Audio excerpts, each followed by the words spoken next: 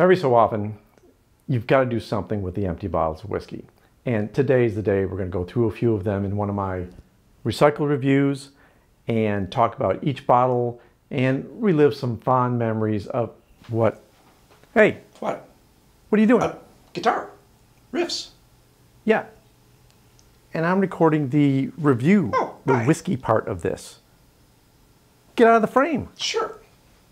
Stay out of the frame. Okay. Um, I don't know where I was. Anyway, Let's do this. hey, that's my line.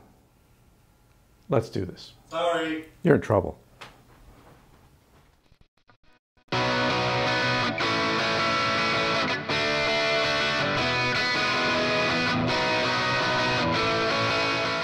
Welcome to Whisky Riffs.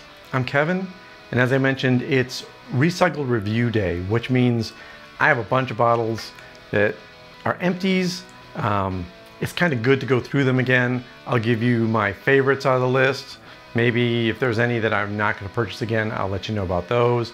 Basically, not a detailed review because if I even get a dribble out of these bottles, I'm lucky.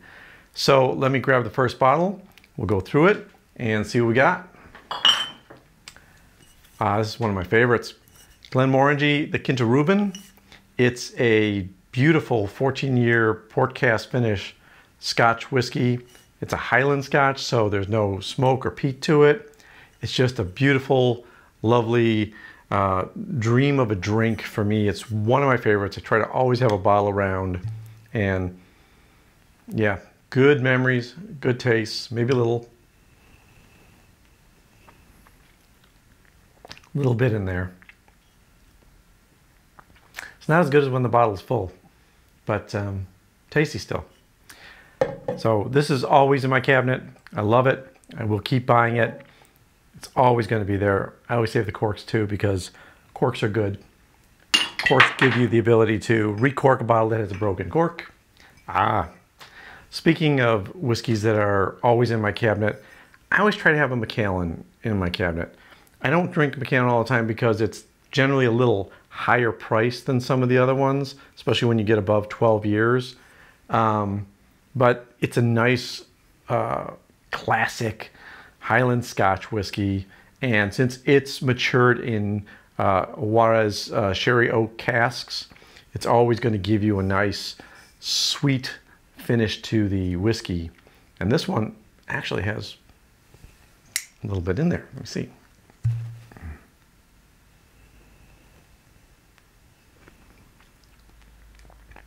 Yeah, much different than the Glenmorangie. Uh, this one is, I think it has some more edginess to it, a little more spice to it. And this one is a, a little softer on the finish. Let's see what else we got in here. Powers, John Lane. This is a really nice little Irish whiskey. Uh, the Powers, the John, John Lane release is a little more upscale than some of their other whiskeys. This is a, uh, a 12 year, so it's got a nice age statement on it.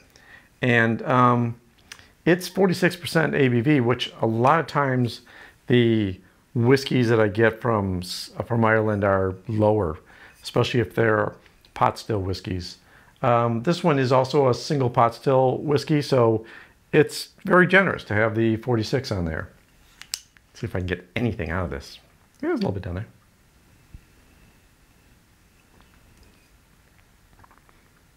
Definitely an Irish whiskey. Got those um, apple flavors, um, a little bit of honey and spice.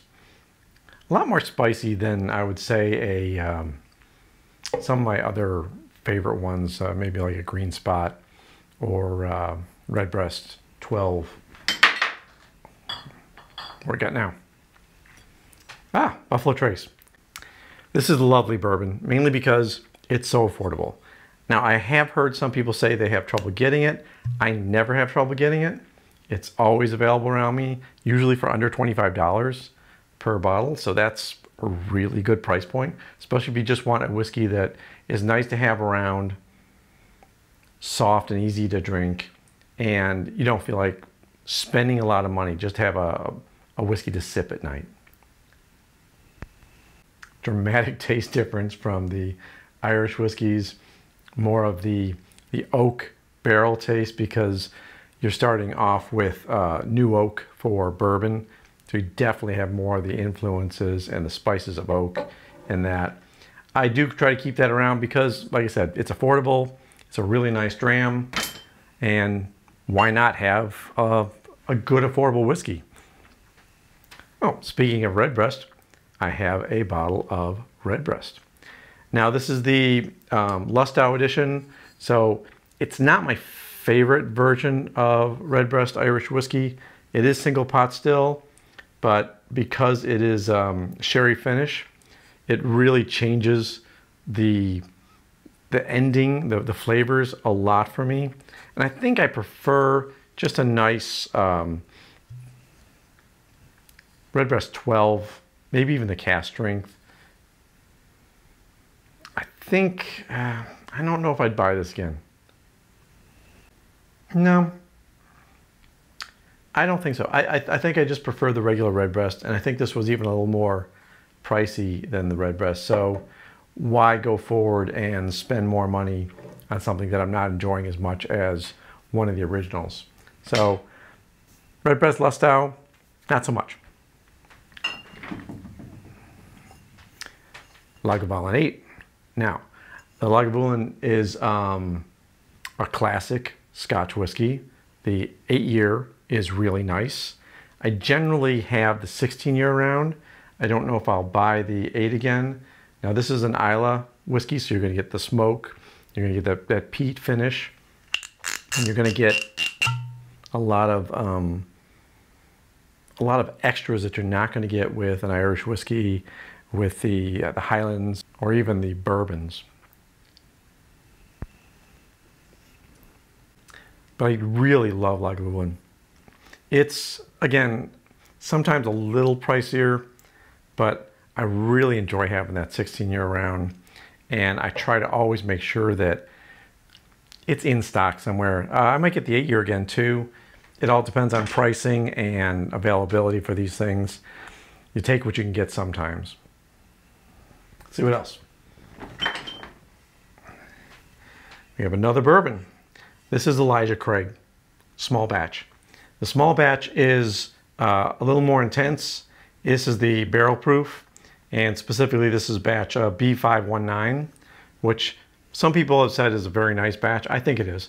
I, I really enjoy uh, cask strength bourbons and whiskeys, so it's always good for me to have something like this around.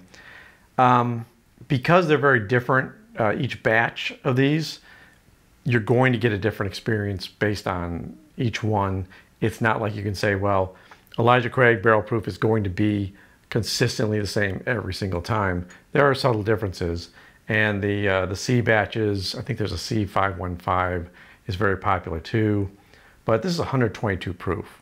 So you're going to get some intensity with it, and it's definitely a um, a good bourbon and I've had a couple of these, um, and I bought one for a friend. So definitely worthwhile.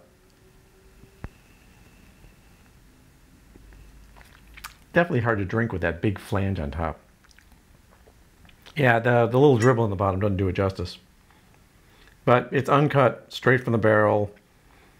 If you like uh, healthy, strong bourbons, Elijah Craig barrel proof, really nice. Kentucky Straight Bourbon. See if we have anything else in here. Oh yeah, one more. Ah, another Irish. So Teeling, one of my favorite uh, new Irish whiskeys. They have a new, um, the, the, the, the, actual brand has been around for a while. The distillery that's in Dublin right now is, is fairly new, um, not that many years old and I was lucky enough to go there with my wife, and we really enjoyed their tours, uh, the way they're taking care of the whiskeys. This is their single pot still Irish whiskey. It's non-chill filtered, and it's got um, a good alcohol percentage too, 46% ABV. Um, I definitely recommend it. I haven't had this dram in a while, and I really can't remember all the nuances. And that was basically vapors, so I'm not getting any nuance out of that. but I believe it was a nice, soft Irish whiskey. And I would go for it again. In fact, I think I, yeah, I have a bottle right over there that I purchased. So I may end with that because I need to toast with something. Okay, let me grab that.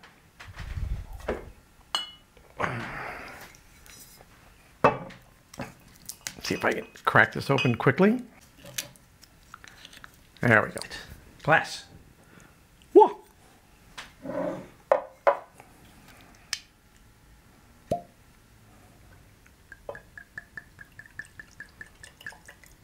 There we go. And a little bit for the table. That's always good. Yeah, very mild. I love pot still whiskeys. Irish pot still to me has some really nice flavors.